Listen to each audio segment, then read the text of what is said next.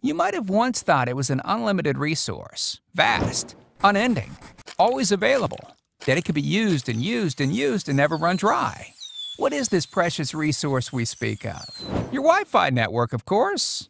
Everything was fine, performance was great, and everyone was happy. But as your users' thirst grew for any and every piece of technology available, their consumption increased exponentially. And then it happened. The well went dry. The proliferation of devices and mobility of users is almost unending, and your network can't keep up with the demand. The only means to increase bandwidth is to add more access points, which means more hardware controllers, a solution that's incredibly costly to your budget and to the environment.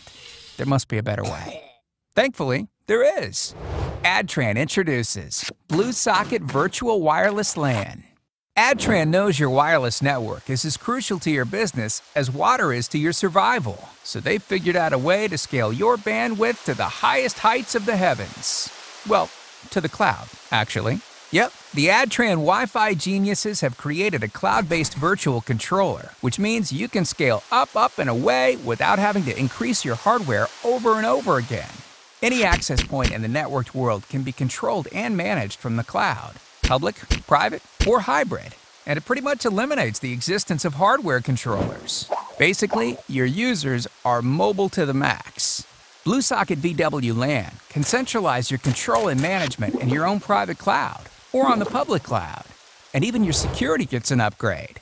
Unwanted traffic gets turned away right at the access point, so there's no traffic jams for everyone who should have access.